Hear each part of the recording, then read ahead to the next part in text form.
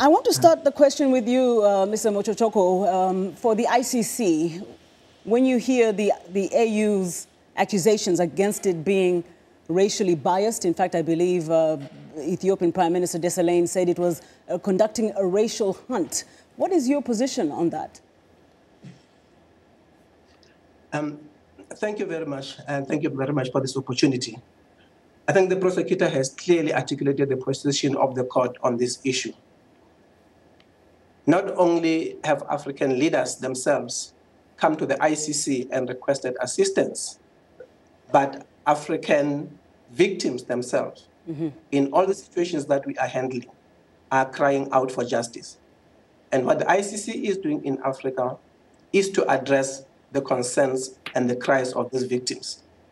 And again, as a prosecutor, and in fact, as the introduction clearly indicated, ICC is in Africa, in most of the cases in Africa, because it was the Africans themselves who called upon the ICC to come in and help them.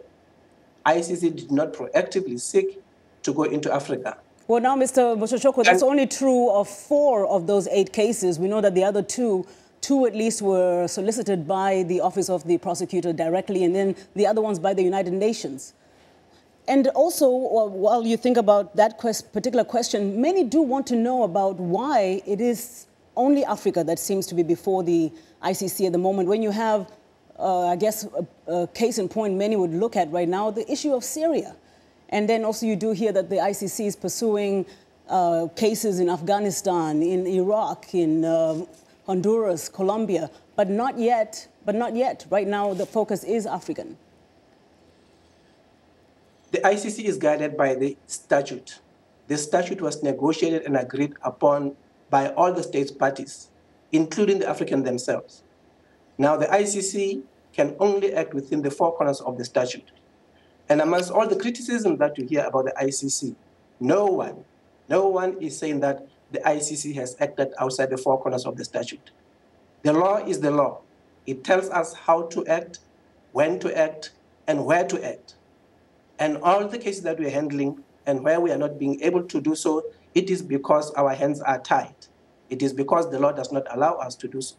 Um, if we were to go outside the four corners of the statute, then there would be problems. And all we are doing is applying the law as it is in the statute. If we go back to the case of Kenya, I think we all forget how the Kenyan cases are before the ICC. Firstly, there's no denying that crimes were committed in Kenya. Mm-hmm. Nobody can deny that. Secondly, should be remembered that uh, Kenya itself, in accordance with the provisions of the statute, was granted the opportunity to investigate and prosecute these crimes. It was the Kenyans themselves who said that they are not able to or they are unwilling to do so, as a result of which, in accordance with the statute and in the law, the cases were then, um, this case, then the prosecutor had no option but to open the cases in Kenya. Mm-hmm um, to address the crimes that, that were committed there.